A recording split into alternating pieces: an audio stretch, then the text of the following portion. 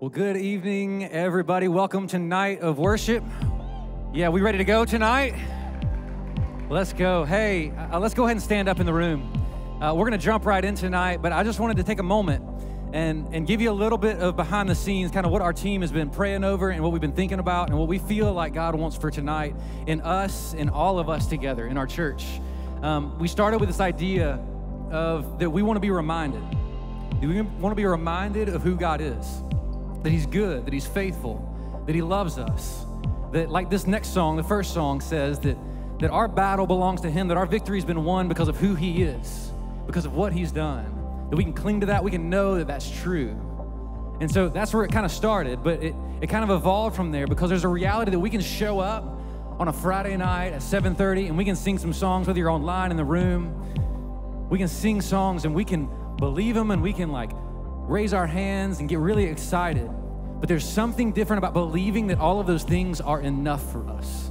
That no matter what we're walking through, no matter what you're standing in tonight, that God's love is enough, that His goodness is enough, that His victory is enough, and that in whatever battle you face, whatever you're walking through, that He is enough for you right here in this moment, but also in every single moment. So, our hope tonight is these songs would be a declaration. Yes, a declaration right now, but it would sink so deep that when we walk out of those doors, we believe them, we hold on to them, we cling to them, and we know that they're true and we know that God is enough. So let's go after that tonight. Let's sing this song together. The chorus goes like this.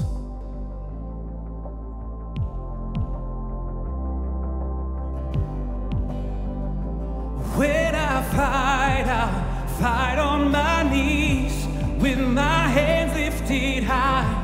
Oh God, the battle belongs to you. Every fear I lay at your feet, and I'll sing through the night. Oh God, the battle belongs to you.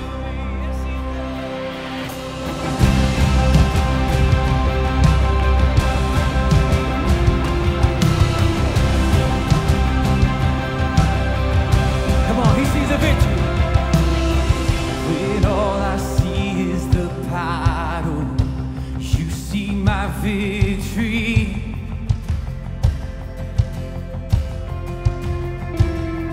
When all I see is a mountain, you see a mountain move. And as I walk through the shadow, your love surrounds me.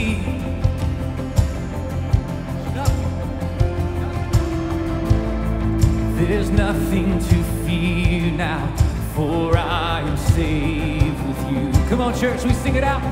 So when I fight, so when I fight, I'll fight on my knees with my hands lifted high. Oh God, the battle belongs to you, and every fear I lay at your feet, and I sing through the night.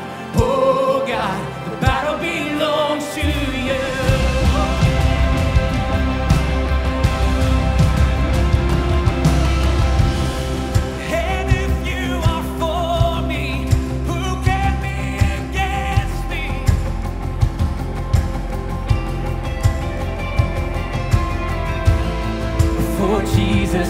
nothing impossible for you. We know it's true.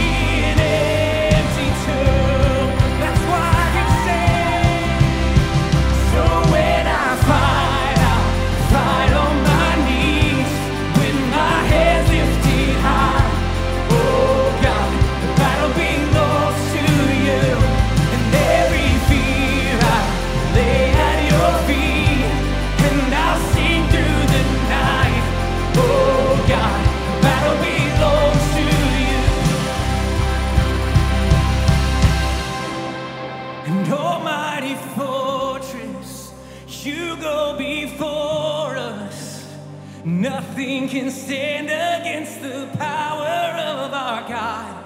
You shine in the shadows, you win every battle. Nothing can stand against the power of our God, Almighty Fortress.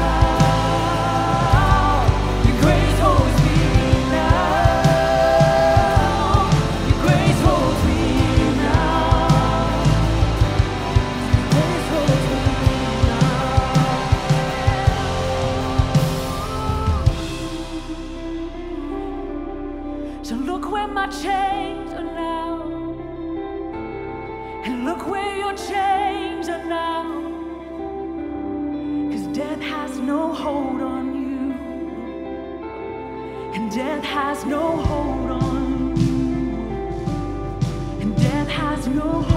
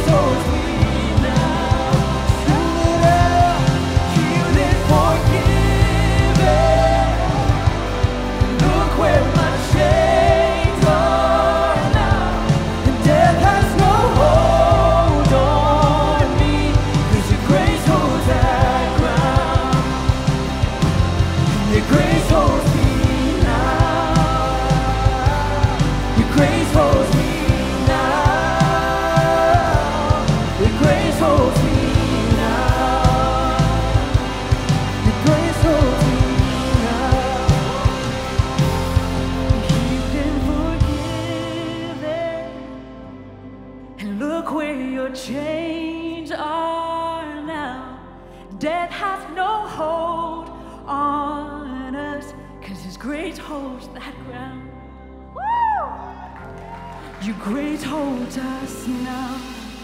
Yeah, yeah. You great hold us now.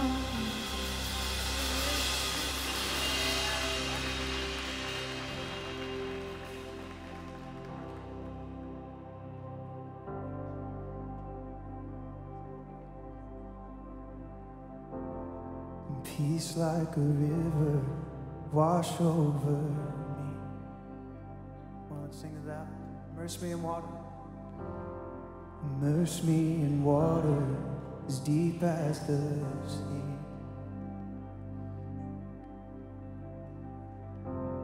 And hide me in love, your healing embrace. Oh, peace. And peace like a river wash over me. As I worship your majesty, I worship your holiness.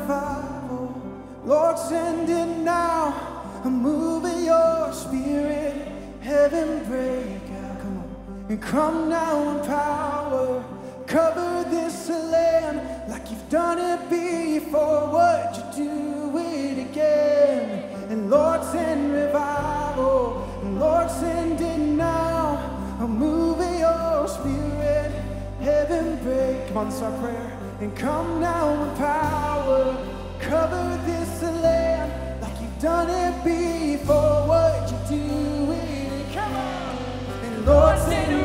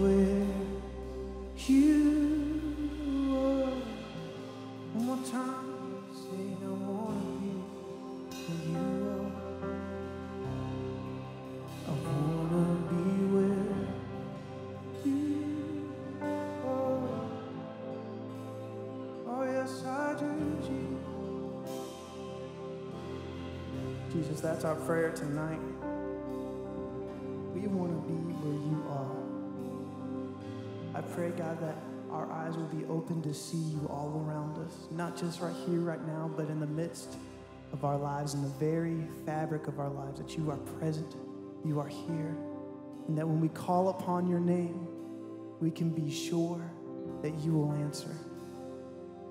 And our response to your faithfulness, Jesus, is that we declare that in our lives, that in this church, in this body, that you would be lifted most high.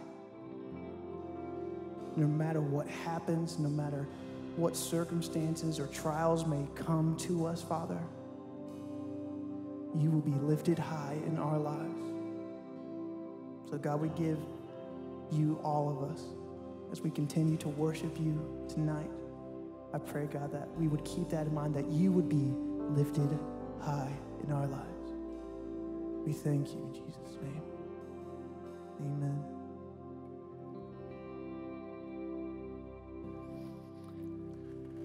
You guys can have a, have a seat uh, for just a minute. Um, we don't, uh, thank you guys so much uh, for leading us um, tonight. Um, it's, it's always interesting. It's, it's, it's always a privilege uh, for me to be able to be a part of, of this tonight, um, to lead us in communion. And you always hear stories about people coming up into uh, into our churches. They have different experiences in church, and some have had really tough experiences in church, and other people have uh, walked away from those experiences or whatever it might be. And so sometimes the, the more um, the rituals of the church have been hard uh, for people. So we want to kind of address that tonight and kind of walk you through um, through that night. But I want to just pause as we kind of set up when we when we we gather to sing, y'all know that this is not like a logical, practical thing to do. It's not like an efficient thing to gather and like sing songs. You know, you're, you're feeling something, right? Is that that's what's happening? No, just me? Okay, so like you, you move and you clap and you kind of, and, and you, you feel something. And the, the lyrics and the, um, what we just sang paints a picture and it's different for, for all kinds of, of people in the room. I was sitting here thinking earlier. We were, uh, we were. Uh, I was in here while they were uh, going through it earlier, and I love the song "Lord Send Revival," and it says like, "Fling uh, open the gates and let heaven break out." And in my upbringing, the gates of heaven were really far away, and for heaven to break out looks like frenzied chaos, people falling out, whatever your vision of that is. And there's a picture in your head, and you have to say, "Okay, God, is this the picture?" And what I realize is, when we say Lord, send revival. Lord, send it now. It's a move of your spirit, heaven break out. You realize it is not that far away. Like when we sang that Jesus, you know, we want to be where you are, He is here and He has brought the kingdom here. And for those gates to be flung open isn't a distant thing there, it's right here in front of us. When you think about a picture of, you know, Lord send revival, Lord send, you know, let, let it break out in, in the land, we, we, we, we think, because we grew up in America, that we're thinking America, but there's a, there's a better picture that when they talked about this idea of space and land, it was where your feet are, would be the sort of way you would think about it biblically. So heaven breaks out wherever our feet are. It's the land. Revival happens wherever our feet are. It's the place. This is what Jesus has made available to us. And we need places like this and spaces like this for us to reorient and to realign. And, and God has given us this, um, this, this uh, ordinance of the Lord's Supper, of communion, um, in order to remember to enter in. Um, one of the other lines that we sang, again, these are just imagery. There's just imagery that, we, that, that I think these songs and when we worship that are put in our heads and and they're put in our heads to awaken our hearts to things, to have us lifted up out of the clay and set on a rock. That's a quote from the Psalms. And the miry clay that holds you back is all the stuff that you keep getting stuck in every single day, day after day. You may have that. You have the same emotions, the same struggles day after day after day. And He picks you up and He sets you on the rock, and you feel it for a moment, and it feels like you're back in the clay the next day or sometimes the next moment. And it's, he, he always reaches in and he picks us up and he sets us up on the rock and what he has done for us. And I think what we often underestimate. And again, I'm just going to kind of keep using the lines from the song because this was my experience back there, listening and worshiping and trying to align myself and to reorient myself with things that are consistent with the kingdom and consistent with what it would look like for me to live under the lordship of the king. And this is what the, this is what this is about. And so one of the other things it says, healed and forgiven. Look where my chains are now. Y'all remember singing that? Did you feel it? Like, where are your chains? Where are they? For some of you, you're holding on to them. You're holding on to them. He says, healed and forgiven. Where are they? Some of you tonight, when you kind of take communion, you need this to be to sort of this is a moment. You know, you you you you uh, you have these ordinances, these moments to sort of mark a moment, not so much to say, oh, from now on I'm never going to do this again. Because if you think that you take communion tonight, you're never going to feel like you're in the miry clay again. You're kidding yourself. You're probably going to feel like it tomorrow. What you have to remind yourself of is that He continues. There's a rock underneath us that can support everything that we deal with and endure. And there's a sure and a certain covenant that when we say that we are healed and forgiven, what this means is that God came to take care of the thing that separates you from him, from him. He came to take our sin to the grave so it never again has hold or authority in your life. Never once and for all. There is no greater news than that. To save sinners is what Jesus came to do. That means that we have been delivered and set free and we are been, been recreated new. And then the challenge for us is to actually live in the newness. Like the reason we hold on to our chains is because they're sometimes comfortable. We've gotten used to them. And He's inviting us into a new way of life. And no matter how freeing a new way of life is, it's still new and it makes it uncertain and it requires something from us. And this is why we need to continually reorient. We were talking about this last night that the formation of Jesus' character into our lives is a slow, arduous process, right? Slower than most of us would want, right? And if we're really honest, it's slower in the lives of other people than we really want because if they would be formed a little quicker, it'd make our lives a little easier, right? We can at least get behind that. And it's just, but here's the, here's the other part of why this is so important, what we're going to do in just a moment is so important. Because formation is not neutral. We were just talking about this last night. We've been talking about this kind of internally with our staff.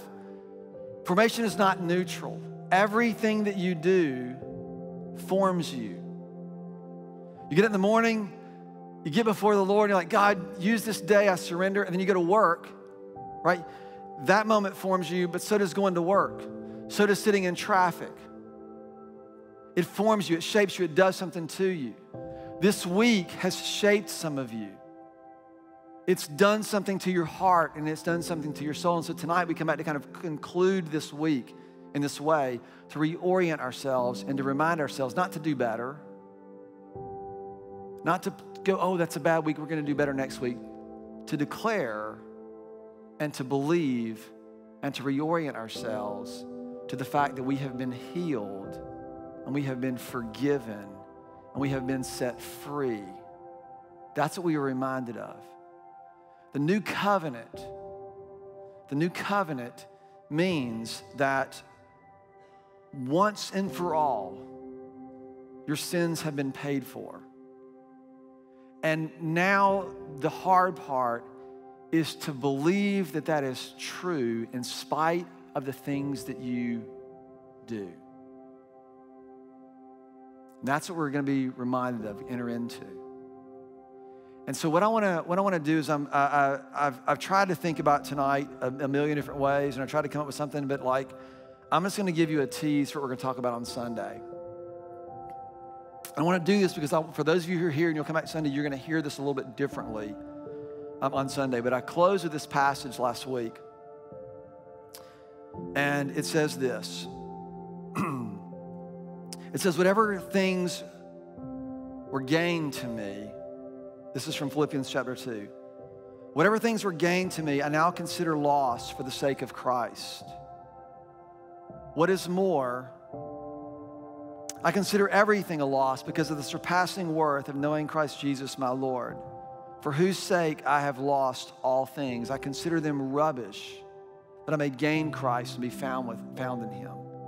And that's beautiful language, but if we're honest, it's a little fearful because we have a lot of things that we don't consider rubbish. We consider them really valuable and really important, and we don't want anything to happen to them. And that's all normal and fine. And there's this picture that's painted. I want to know Christ. I want to know the power of his resurrection, participation in his sufferings, becoming like him in his death, and so somehow attaining the resurrection from the dead. And as I've read this over and over and over again, here's what has historically jumped out at me. Consider everything lost. Um, Whatever is gain, I consider loss. All of it's rubbish, and it just feels, how am I ever going to get there? And then I'm reading this, and it says, I consider everything lost because of something really, really important. And that is the surpassing worth of knowing Christ Jesus. And here's what I want us to reflect on as we take communion there is a surpassing value in knowing Christ Jesus is Lord. Now, we go, okay. I want us to think about this. If I said, I'm gonna get you a brand new car, you'd be like, oh, yes. There's a surpassing value in that. It would make you sit here the rest of the time and go, can't wait till we leave so I can get my new car, right? You would start to want that more than you want to be where you are, whatever it is. Or something other good news that is going to be promised to you and something that you value is going to be given to you. You start to see that, and that brings a sense of hope that makes you look for and want and desire, that causes everything else to have a little bit different perspective. You see what I'm saying? Does that make sense? So what this what this promises us is that there, there is a surpassing value in knowing Christ Jesus that's actually available. That for your relationship with Jesus, for my relationship to Jesus to become so valuable that it surpasses everything else. So don't worry about what you're going to lose or don't worry about the challenge of losing something. What I want us to focus on is the fact that the relationship that God has invited you into, that has been made available to you in Christ Jesus, has a worth and a value that su- surpasses everything else. And what if that were to be true for you? Like, that's what we're invited into. And that's our quest. And what we're saying, God, we want to see more and more and more of you so that we know you in such a way that it surpasses everything else. Right? So I'm going to pray for us. Actually, I'm going to let's just let God speak to us. And then um, I'll invite our host team in just a moment. We're going to come and we're going to, um, you'll get, uh, the host team will lead you. And you will get, um, there's, there's a cup, but it's got two things in it. You'll see this. Um, one has the bread and the other has uh, the juice. And so you'll get one, and they're both in there. Um, and here's one more thing I want to say. Some of you, um, you grew up in a tradition where you weren't allowed to take communion for a variety of reasons. Uh, there are traditions that say if you've been divorced, you're not allowed at the table, or if you have something has happened. What we say, right, our priest has replaced all other priests. He is the high priest who is King Jesus, and he is the one who has invited us. So if, if you, in your here, have said, Yes, he is my king, yes, I receive his forgiveness. The only person who needs, who you need to hear invite you to come is him. You don't need anyone else to affirm it for you, okay? Can we, can we be okay with that? So I don't want you to feel shame. I don't want you to feel hesitation. I don't want you to feel um, excluded. Some of you need this reminder that something has been done for you in such a way that nothing you can do can undo it. And so you're going to sort of hold on to that. For some of you, this is a new start because you're struck, you just feel, and you just need to kind of mark a moment tonight. Not a promise to do better, just a fundamental trust that something has been done that is powerful enough to heal you and to forgive you and to bring you into the life for which you have been created. That's what we celebrate. That's what we do. That's what Jesus invites us to. And he said, This is my body which is broken for you. To forgive you for sin once and for all. And this is the cup of the new covenant. That when you drink it, you declare that sacrifice and the reality of the new covenant. From here until we experience it fully and finally. So I'm going to stop. God, I just ask you to use these next few moments to remind us. God, there are all sorts of different things that people need to be reminded. For some, it's just a gentle reminder of hope. And they've heard whispers and reminders of shame for far too long. God, for others, it's just a foundation, a footing, because everything feels to be slipping out from underneath them. So I just ask you to whisper to us as we kind of gather and share this together. So lift all of this to you. In the name of your son, Jesus. I want to invite our host team to come and to lead us as we, um, you'll grab the elements, head back to your seats, and we'll all take it together in just a moment.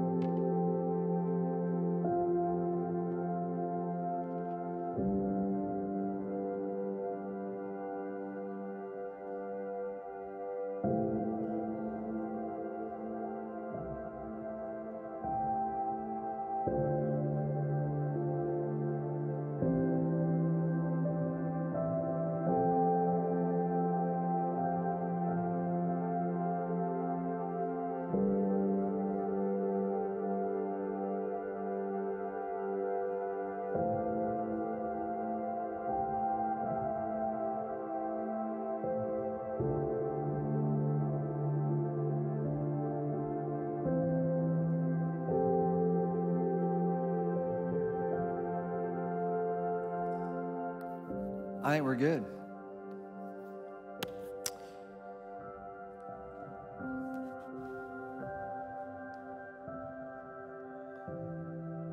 It says, Whatever things were gained to me, I now consider loss for the sake of Christ. And what is more, I consider everything a loss because of the surpassing value of knowing Christ Jesus, my Lord. It is an unbelievable thing for us to consider that we could have a relationship with Him that causes everything else to pale. It's available. It's available. Um, it's no mistake that Jesus did this um, when he did, celebrating Passover, the deliverance from slavery of the Hebrew people. And the disciples were like, What is he doing? And he talks about his body being broken, and they didn't understand, but they would just a few days later. But what he said was so um, beautiful and prophetic is this is my body which is broken torn to pieces i mean torn apart cut bruised. And um, as the final sacrifice so that every other attempt to earn or to offer for sin would be void because he did it. And so we take and we eat in remembrance of him.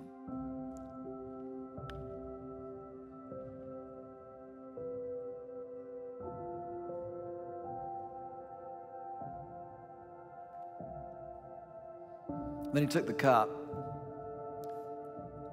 and the, the cup in the covenant was um, a, a, another rich symbol, beautiful, and it had to do with weddings and a lot of other sort of symbolism of that day.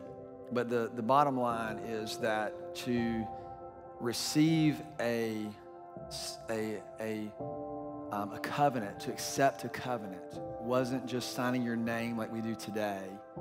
You would drink a cup because you can't like undo that. You and not only can you not undo it, you're you're you're not just saying yes to something, you're you're you're taking it in to the very depths of who you are. And so this is the picture of the new covenant that he says, Oh, there's a day coming when there's gonna be a new covenant where I will write my law upon their hearts. And there will be no need for them to be taught because they will know. They will live in an intimate knowledge, an intimate connection with the way. And then he says, I will remember their sins no more. That's what the new covenant is. And so he says, take it in to the deepest parts of who you are. And as you do, remember that it's a true, real, abiding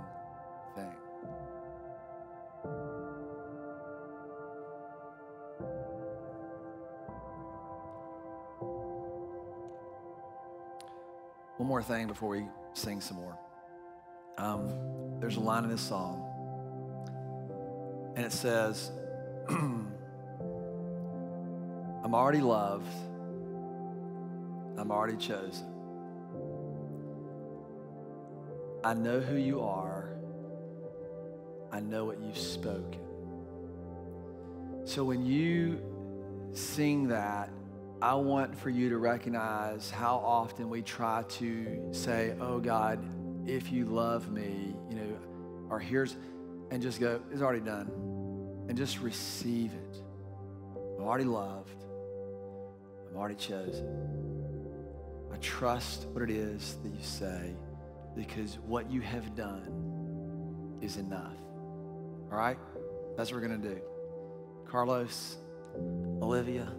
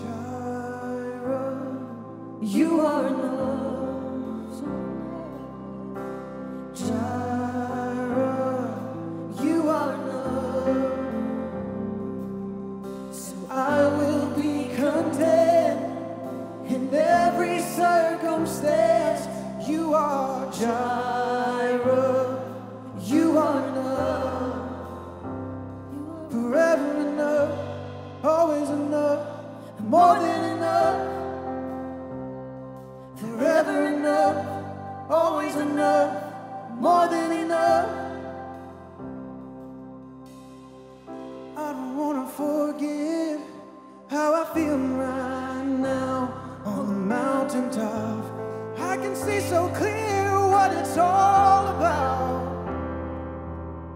So stay by my side till the sun goes.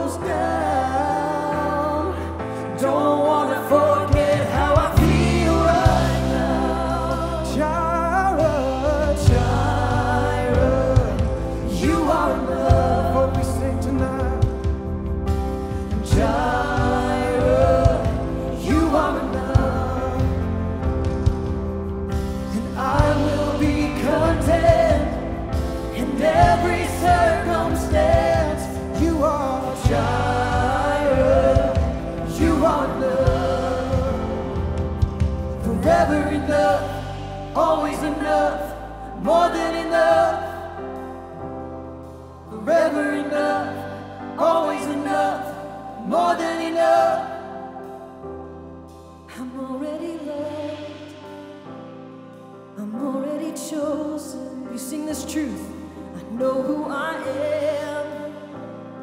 I know what you've spoken. I'm already loved. Yes, more than I could imagine.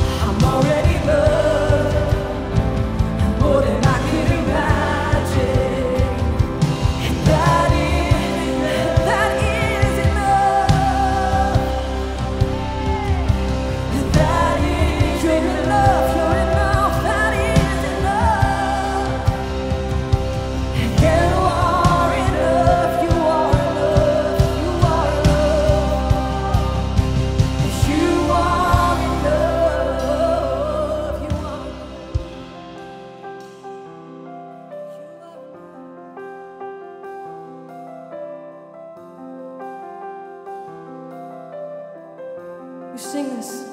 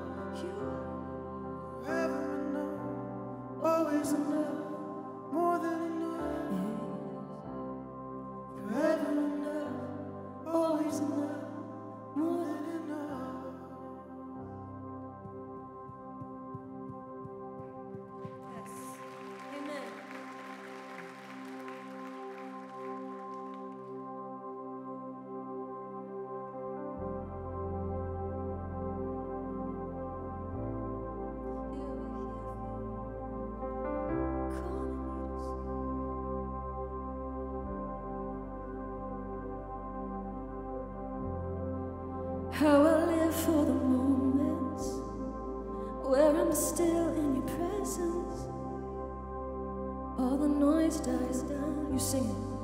Lord, speak to me now. You have all my attention. I will linger and listen.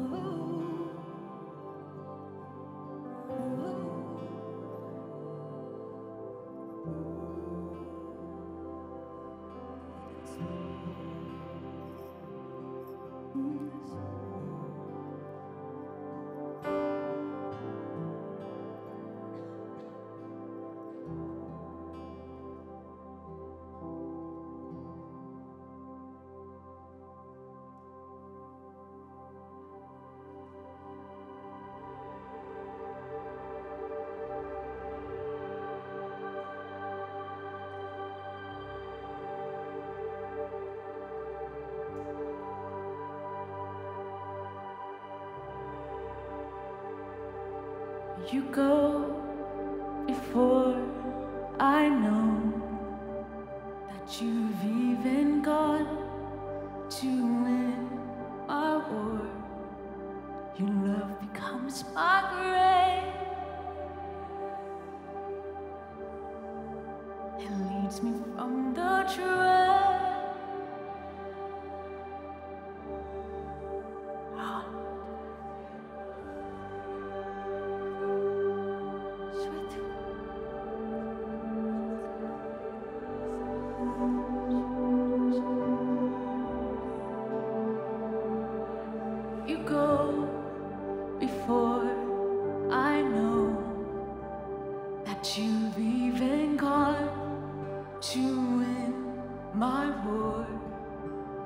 love becomes my greatest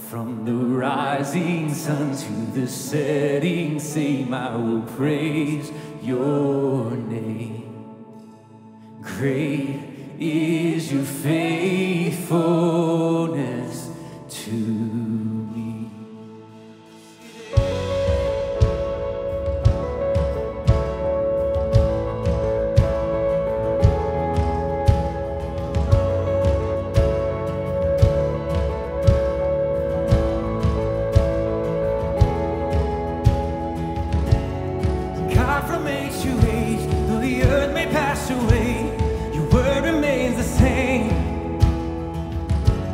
Your history can prove there's nothing you can't do. You're faithful and true, though the storms may come and the winds may.